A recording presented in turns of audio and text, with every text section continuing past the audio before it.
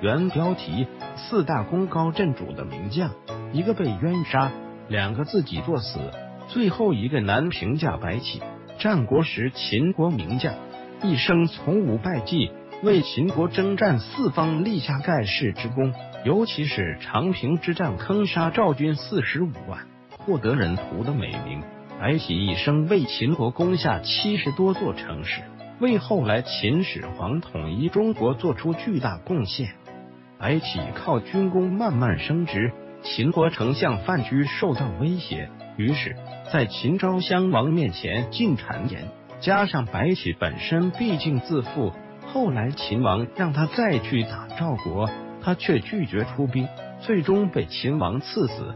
白起的死非常冤枉，他一不叛国，二不谋反，可怜一代名将如此下场。韩信、刘邦能取得天下，离不开韩信的。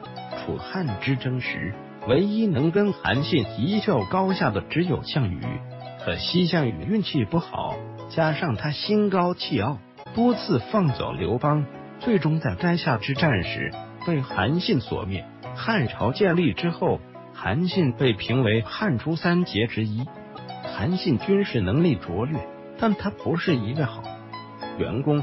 刘邦为了防止他谋反，曾多次巧巧夺了他的兵权。刘邦遇难命的顷刻之时，韩信却要求齐王的宝座，才肯发兵相助。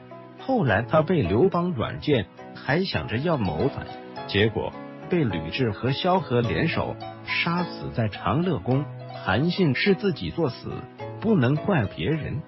蓝玉，明朝开国名将，蓝玉的军事能力仅次于徐达。起初，他跟随朱元璋打天下，是徐达的下属。后来，蓝玉南征云南，北上破元，立下赫赫战功。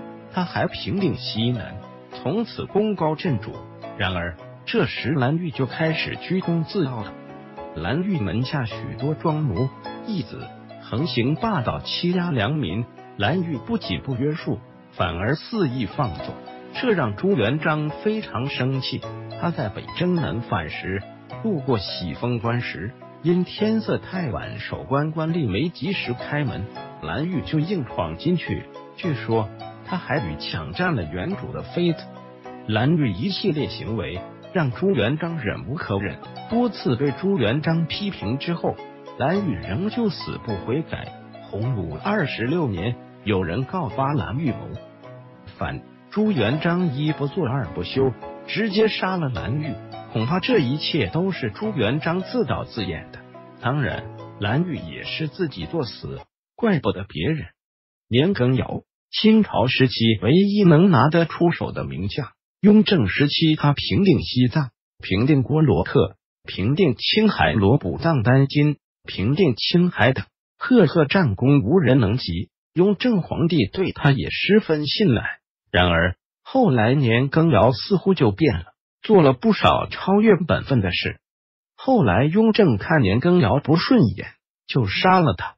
关于年羹尧的死，历来有不同说法。有人说是雍正皇帝害怕功高震主杀功臣，也有人说是年羹尧自己太飘飘然，完全是作死。